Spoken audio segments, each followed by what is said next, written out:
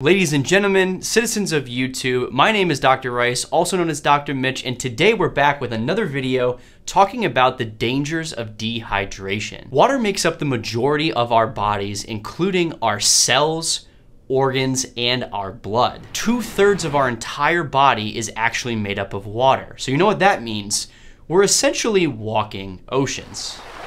Staying hydrated is not only important for being metabolically healthy, but it's also really important in order to achieve and maintain a certain level of optimal performance. It's actually said that an estimated 75% of all individuals are dehydrated at some point throughout the day. We hear the word dehydration a lot, but what exactly is dehydration? Well, it's a condition that occurs when you don't have enough water in your body in order to carry out basic functions. Even mild dehydration can drain your energy and make you feel really tired. The symptoms of dehydration can vary quite extensively from person to person. Some people may experience barely noticeable fatigue, whereas other individuals may pass out due to hypotension also known as low blood pressure. Although this is sort of more from lack of salt intake than water, but that's a discussion for another time. Other symptoms may include weight gain from decreased metabolic function, headaches, brain fog, dizziness, cramps, as well as decreased overall immune function. This all sounds a little bit scary, so how can we actually make sure that we're staying well hydrated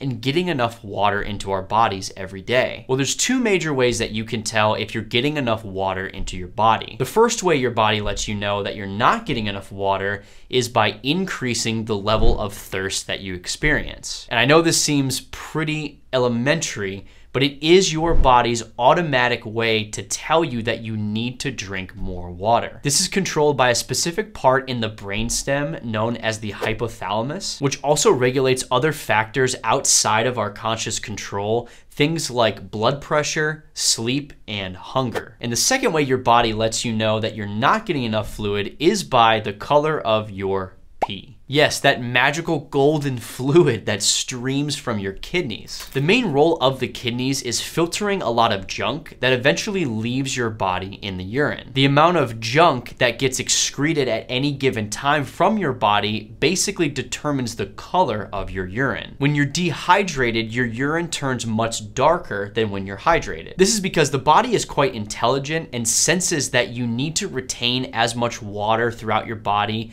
as you possibly can. So all that junk that gets removed from the body only has a little bit of actual water in it, hence making it a dark yellow color. On the flip side of things, when you're well hydrated, the color of your urine is usually light yellow to even clear because your body has so much water already in it it can afford to lose some extra water within the urine. Now, if your urine turns a darker or an unexpected color overnight, and taking in more water, being well hydrated isn't altering the color of your urine, that's a good reason to take a trip to your local healthcare provider. So in order to make sure that you're staying well hydrated throughout the day, you want to take in enough water so that you're never thirsty and that the color of your urine is always light yellow to clear. One thing that is really important to mention, water consumption is highly variable from individual to individual. How much water you specifically need may not be the same for how much your spouse needs or how much your friend needs. This depends on a myriad of factors such as overall body weight, basal metabolic rate, as well as your overall activity level. Grab that bottle of water, take a few swigs, and make sure you're always staying well hydrated. It's really, it's